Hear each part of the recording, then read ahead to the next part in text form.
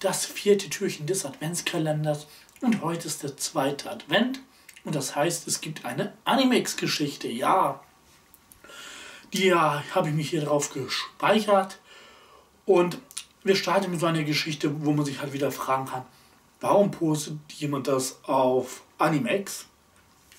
Doch die geht wie folgt. Wieder ein Weblog-Eintrag und zwar Animex-User hat Burnout. Ich merke, wie ich langsam ausbrenne. Dauert sicher nicht lange, bis ich komplett Burnout habe.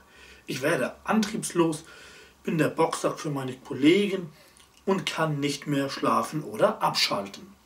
Das war der Weblog-Eintrag und ja, warum postet man das auf einer Anime-Seite? Sofern das überhaupt stimmt, wir wissen, auf Animes wird ja viel. Es ist ähnlich so wie Twitter mit sowas wo man sich immer fragen sollte, ob das überhaupt stimmt.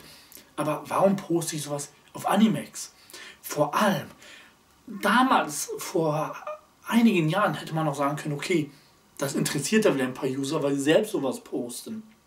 Nur, und ich glaube, der Eintrag war von Anfang des Jahres, Animex ist mittlerweile tot.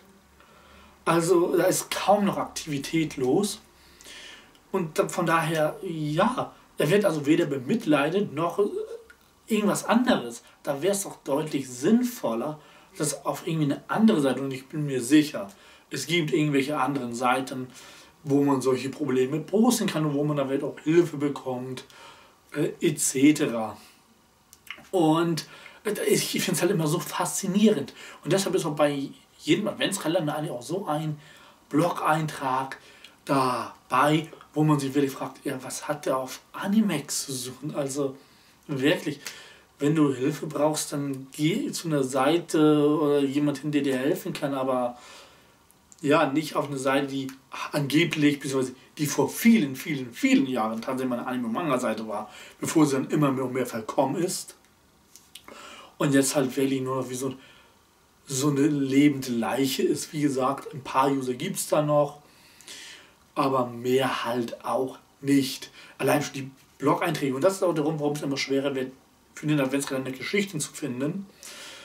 Weil die Blog-Sektion ist halt nicht mehr wirklich so aktiv, also auch nur noch wenig, genauso wie die Umfragen-Sektion. Das Forum, das ist ja schon seit Jahren tot, liegt aber auch daran, dass man es kaum findet. Und ja, das ist es halt. Aber wieder da, dieser Eintrag, der musste einfach sein. Wieder war, glaube ich, von Anfang des Jahres oder so. Und das war die erste Animex ja, Geschichte für diesen Adventskalender. Wie ihr ja wisst, nächsten Sonntag gibt es dann die nächste. Also, wir sehen uns dann beim nächsten Türchen wieder.